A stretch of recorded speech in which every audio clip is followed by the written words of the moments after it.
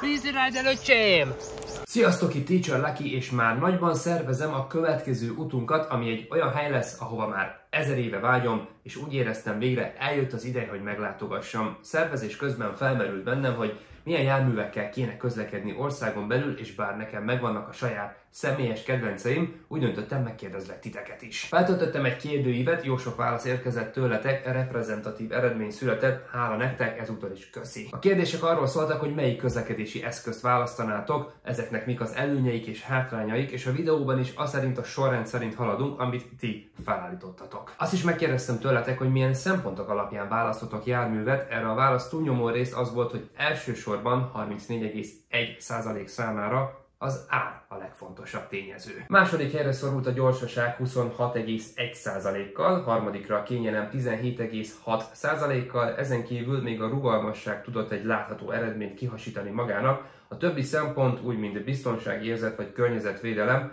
alig néhány szavazattal képviselte magát. Bevallom meglepődtem, hogy a többség az árat választotta a gyorsasággal szemben, hiszen például Görögországba is le tudunk utazni busszal egész olcsón, de az úgy két napot vesz igénybe, míg repülővel két-három óra az út, valóban drágább valamivel, de cserébe rettenetesen sok időt és kényelmetlenséget tudunk megsporolni magunknak. Úgyhogy nálam a legtöbb esetben a gyorsaság áll az első helyen, hiszen az idő is pénz, és a saját nyaralásodból veszed el azt a pár napot, amit a buszon vagy az autóban zögykölődsz végig. Na de most lássuk a bőröntől telékek best of listáját, ami mellesleg nem egyezik meg az én egyéni sorrendemmel. A hetedik, az az utolsó helyre került, ami nálam is utolsó lenne, a motor vagy robogó, ezt egyetlen kitöltősen választotta kedvenc járművének. Erre a közlekedési eszközre mondtátok, hogy a legjobban féltek tőle, a válaszadók közel fele nem is ülne motorra. A motor mellett szól a szabadságérzet, a rugalmasság és az izgalom, viszont a válaszaitok alapján sokkal több minden szól ellene, Veszélyes, rossz időben még inkább, hosszú távon kényelmetlen, nem tudsz túl sok utast vagy csomagot magaddal vinni, és az autósok sem mindig figyelnek a motorosokra és robogósokra. Igazából teljesen egyetértek veletek, például egy indonéz szigeten belül abszolút praktikus robogóval közlekedni, de hosszú utakra én sem választanám a motort. De ez csak az én véleményem, meg a válaszolóké, nyugodtan írjátok le kommentben, ha nem értetek egyet. A hatodik hely nálatok és nálam is a hajó Magyarországnak viszonylag nincs sok tengere, így nem meglepő, hogy a lista végére szorult. A válaszolók több mint fele egyáltalán nem fél hajón utazni, és csak 4%-otok mondta, hogy rettenetesen.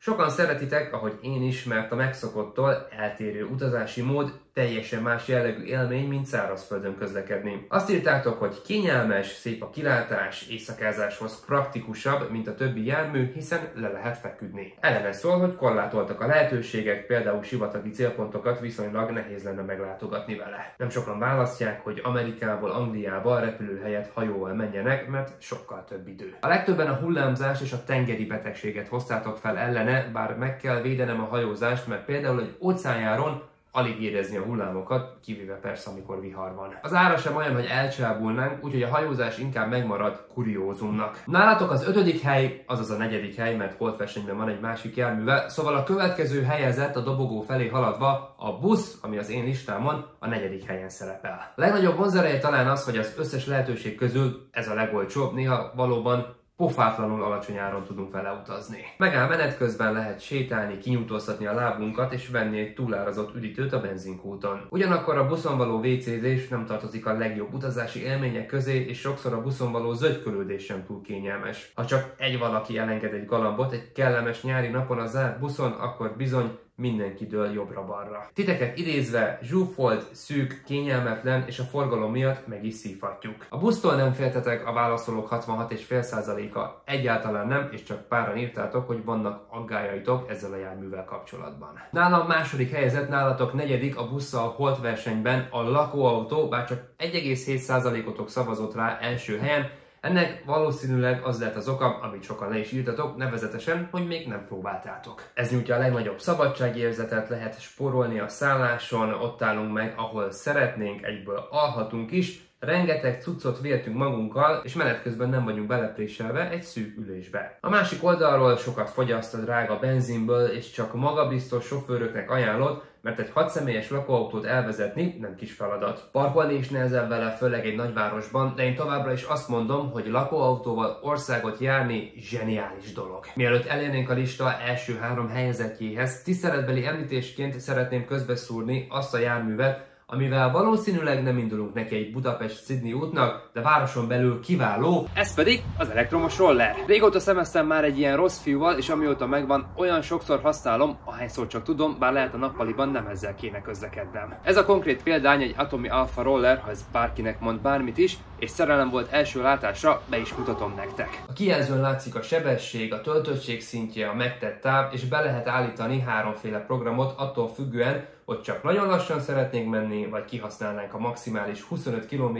per órát, ami egyébként a felső határ az EU-ban. A hivatalos hatótávja 40 km, azaz ennyit bír egy töltéssel. Van rajta első és hátsó lámpa, de még index is, amit azért valljuk be, még szoknom kell egy rollernél. Van beépített biztonsági lánca is, ha valahova berohannál és a rollert kint kell hagyni, vagy például én múltkor a vonaton csak azért kötöztem az üléshez, hogy ne dőljön fel egy hirtelen fékezésnél. Beismerem sokat nyomott a döntésnél, hogy milyen rohadt menő fényei vannak, és természetesen minden technikai paramétert figyelembe vettem, de azért, na, ez volt az egyik legfőbb vonzerő. 15 féle változat állítható be, különböző színekkel és mozgásokkal. És a már technikai adatok, ebben egy 350 wattos motor van, ami 650 wattos csúcs teljesítményre képes, úgyhogy a magyar Kressz szerint elveszik a jogsit, ha ittasan vezeted. Persze jogsi nem kell hozzá, szóval... De bukós isakod legyen ne a Kressz miatt, hanem hogy ne törjön be a fejed, ha perecelsz egyet. Ezt a rollert a Geekbuying oldaláról rendeltem, ahol a bőség zavarával küzdöttem, de szerencsére a már említett fénycsíkok segítettek eldönteni a kérdést, viszont ha ti más szempontok alapján választanátok,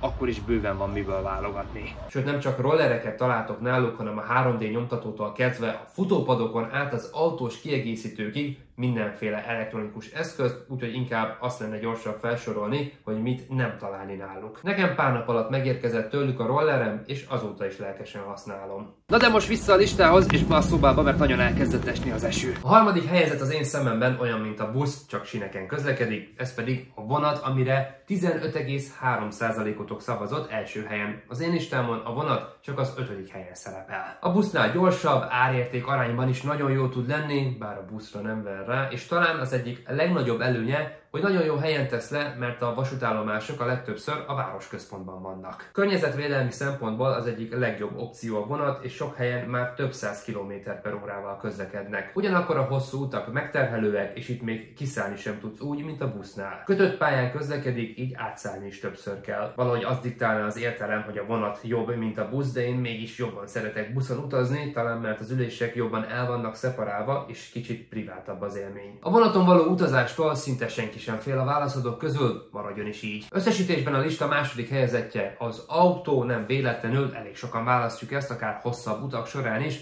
az én listámon a harmadik helyen szerepel, míg a válaszadók ötöde tette az első helyre. A válaszadók 65%-a egyáltalán nem fél a kocsiban, de 9%-otok azért már erősen fenntartásokkal ül be. Ott állsz meg, ahol akarsz, azt viszel magaddal, amit akarsz, abszolút szabadságod van, sőt, ha megérkeztél az úti célodhoz, akkor is ott van kéznél az autó a városon belüli közlekedéshez, nem kell bérelni. A költségek sem olyan drámaiak, ha például hárman utaztok és három felé dobjátok a benzin és autópálya matricák árát, vihetitek a házi állatokat is, a többi járművön ez nem ilyen magától értetődő. A másik oldala az, hogy hosszú órákat vezetni, fárasztó és monoton, és itt viszonylag nagyobb probléma van abból, mintha a vonaton aludnál be. Hatalmas távolságokat szintén nem tudunk megtenni vele, illetve persze meg tudunk, csak egy ponton túl már nem éri meg az autót választani. Olyan országba, amihez két másik országon kell keresztül menni, már nem biztos, hogy autót választanék, de ettől függetlenül vitathatatlan, hogy rendkívül praktikus utazáshoz. A szavazás első helyzetje nem meglepő módon a repülő, nálam is ez van az első helyen, és több mint 60%-ban nálatok is ez volt. 10%-otok mondta, hogy valamennyire fél a repüléstől, ez nem is olyan kiugró érték ahhoz képest,